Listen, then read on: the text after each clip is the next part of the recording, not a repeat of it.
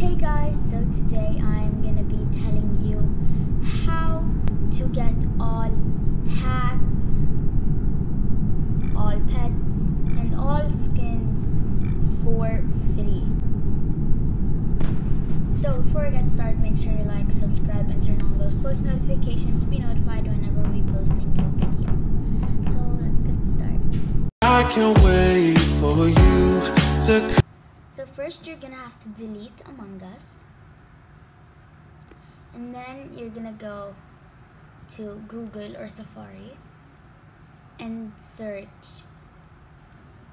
tweakdoor.com. Then you're gonna press open store with web. And then you're gonna press search You'll type Among Us if you don't find it Among Us. Then you're gonna press get and install. Now you just look around in your apps until you like, you know, find it. There it is, it's downloading. It'll take a while, so I'll get back to you once it's done. So it has finished loading. It looks like this. So once you click on it, it will say this. So to fix that, you're gonna go to settings. And then you're gonna scroll down till you find device management.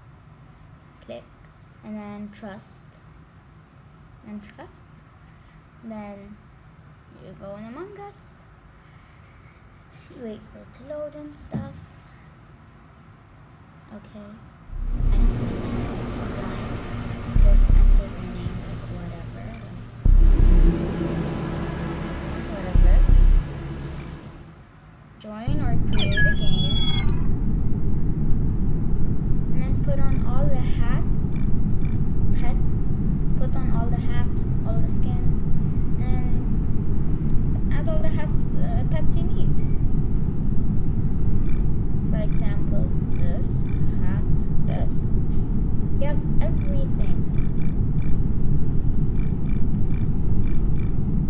So hope you enjoyed. Make sure you like, subscribe, and turn on those post notifications to be notified whenever we post a new!